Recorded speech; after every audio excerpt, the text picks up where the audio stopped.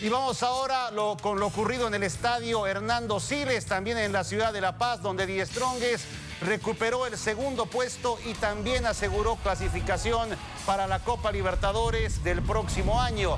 Por décimo año consecutivo el equipo atigrado jugará el torneo más importante de clubes en el continente. Fue un partido durísimo ante Aurora que se abrió comenzando el segundo tiempo a los 13 minutos con el gol de Ramiro Vaca. En la última fecha Strongest visita a Blooming, tiene 47 puntos, debe esperar un traspié de Always Ready, ganar en Santa Cruz para intentar el título nacional. El 2 a 0 llegará con la falla del arquero de Aurora y el gol de José Sagredo al minuto 81 para la valiosa victoria de Strongest jugando en condición de local, todavía con chances de título y ya en la Libertadores para el próximo año el equipo dirigido por Alberto Irión.